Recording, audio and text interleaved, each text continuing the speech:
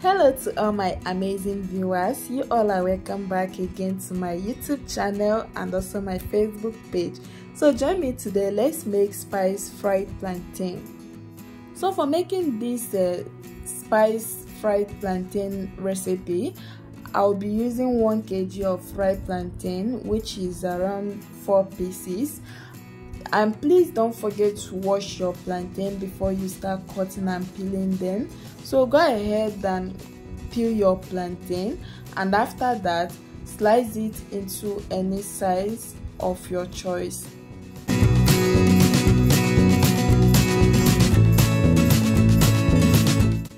So after cutting and slicing your plantain, take out your mixing bowl, then transfer the sliced plantain into your mixing bowl and after that season your plantain with dried rosemary, a pinch of salt which is very important, your black pepper powder and after that use your spatula to mix it.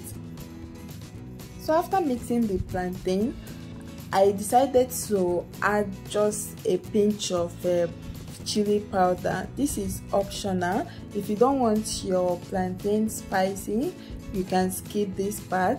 So after that, give it a quick uh, mix, then set it aside. Next, place your non-stick pan or any pan which you are using to fry your plantain on the heat add enough vegetable oil that can fry the plantain. Let it heat up. Then start dropping the plantain into your hot oil. Fry the plantain on a medium heat until it turns golden brown. Then flip the other side and let it fry until it turns golden brown. Once you are done frying your plantain take them off the heat.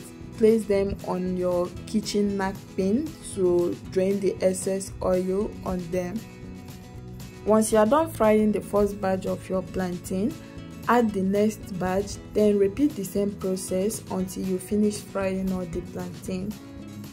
You can serve this fried plantain as breakfast alone or enjoy with fried egg or rice.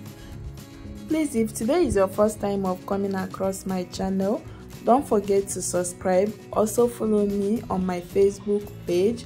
Do like and share this video see you all on my next video. Have a wonderful day. Bye